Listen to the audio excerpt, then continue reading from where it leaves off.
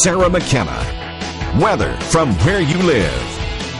Overnight, we had rain and thunderstorms, high winds across our area. Now, as you can see, precision has completely cleared out. No more rainfall right now after seeing over an inch of rain in several locations. Take a look at all the rain that did move in. Again, it was very heavy at periods of time during the overnight. We did have a few, few severe thunderstorm warnings that were issued. Fortunately, those have all expired. Nothing to worry about any longer. Those rainfall totals just over one and a quarter inch in Kokomo, just under an inch in Crawfordsville, just over an inch here in Lafayette, Boswell right around an inch as well. And so we are still seeing some street flooding, something you'll keep in mind as you head out the door today to work or to school.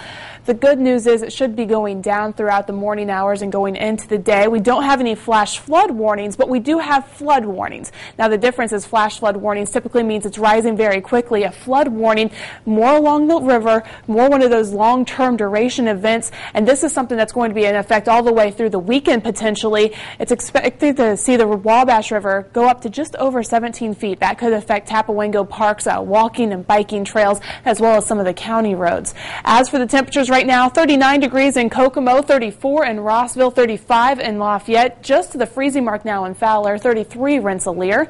The rain has all cleared out. We still have the cloud cover across our area. These clouds are going to stick around throughout most of the day. In fact, Live Doppler 18 Futurecast has it all pretty much cloudy until about 5 o'clock. It'll be by 5 o'clock that we start to see clearing. It should stay fairly clear through the overnight and during most of the day on Tuesday as well. So for today, the rain is ending. You see those temperatures falling 41 degrees. We hit that at midnight. So I'm expecting our temperatures through most of the day to stay fairly consistent with where they are right now. 30 mile an hour wind gusts. For tonight, those clouds will clear out. Still fairly windy, 26 for your low. And on Tuesday, the sunshine is going to return. It's still breezy, but 47 the high on Tuesday.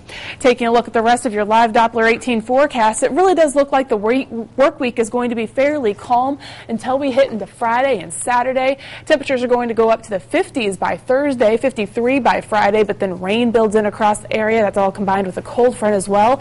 So as you can see, it looks like it's not only going to be giving us our next chance rain, but it looks like it's going to be giving us slightly cooler temperatures as we